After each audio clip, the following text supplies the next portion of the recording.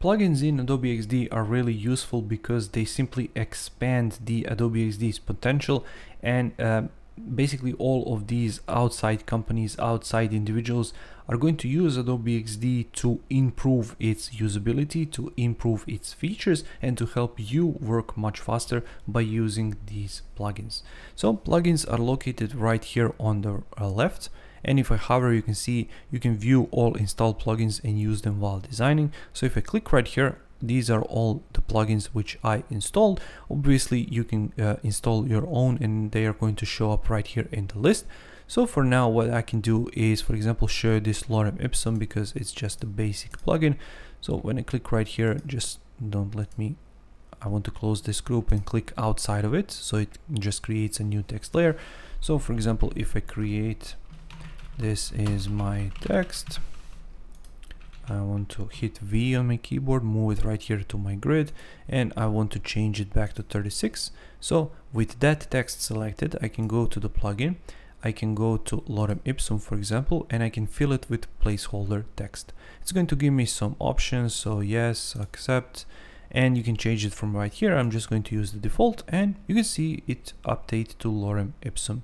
So what I can do is click right here and fill it in. So for example, right around here, maybe I can expand it to here. And then now when I select it, fill with placeholder text, insert text, it's going to fill in all of that section with your text. So you can really see how this plugin alone helped me and increased my speed by placing all of this dummy text right inside rather than me coming up with a text uh, what should it be, how it should be organized and all those things. It just placed it right here. So if you want to install your plugin, what you need to do is click right here it's going to show you this option so you can discover browse and manage all of your plugins. Obviously if I click manage it's going to just show me these plugins. You can update all as you can see I have four different updates. You can browse and you can set by categories. These are most popular.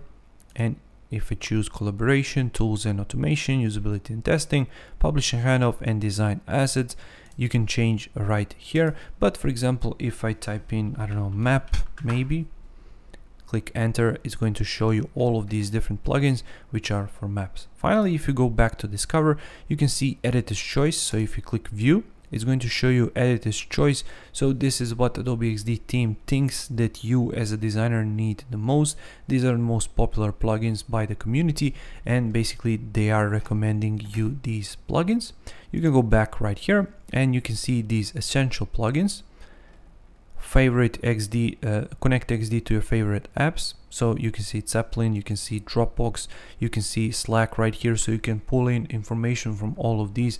Let's say that you have the file uh, shared inside of your Slack chat, for example, you can connect Slack right here and you can easily pull in that file. For example, client send you an image, you can pull it from Slack in Adobe XD or you can share your file that you're working on right now in XD to the Slack by simply connecting that plugin to Adobe XD. Same thing with Zeplin, same thing Dropbox, basically just allow you to work much faster when these plugins are connected with your XD. We have uh, collections, so sketch plugins, and this is not the sketch tool, but sketches as drawings copywriting and localization, testing and usability, and once again, you can browse through categories.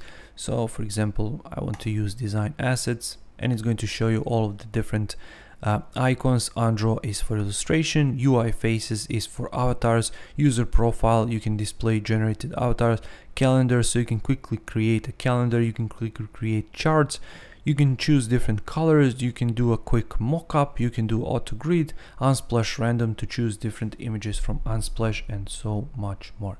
So basically that's it for these plugins. You can install them, you can manage them on your system, you can see how they work. And in the next video, we're going to talk about Repeat Grid, which is this amazing feature of Adobe XD.